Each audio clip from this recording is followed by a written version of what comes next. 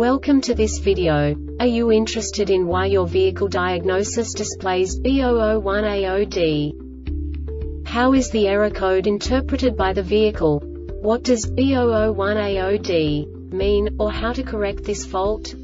Today we will find answers to these questions together. Let's do this.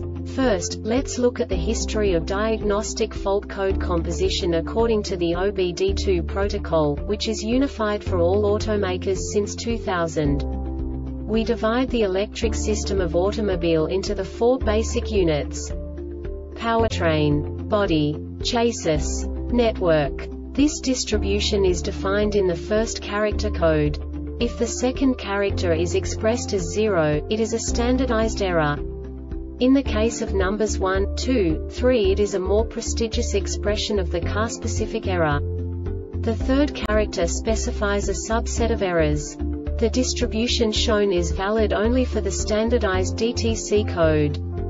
Only the last two characters define the specific fault of the group. The add-on to the error code serves to specify the status in more detail. For example, a short to the ground. Let's not forget that such a division is valid only if the other character code is expressed by the number 0. Our website airbagreset.sk produces useful videos for you. You do not have to go through the OBD2 protocol anymore to know how to troubleshoot any car breakdown. You will find all the diagnostic codes that can be diagnosed in a Saturn vehicles. Also many other useful things. The following demonstration will help you look into the world of software for car control units. You unbelievably can move the video a bit further. The error code is split into two bytes consisting of 16 bits. One bit is the basic unit that each computer works with. The bit has two logical states. 0, low level, 1, high level. By combining the first two bits, the basic character of the error code is expressed. The next two beats again determine the second character. The last beat styles of the first byte define the third character of the code. The second byte is composed of a combination of 8 bits. The first 4 bits determine the fourth character of the code. And the combination of the last 4 bits defines the fifth character. A single byte conceals 256 possible combinations.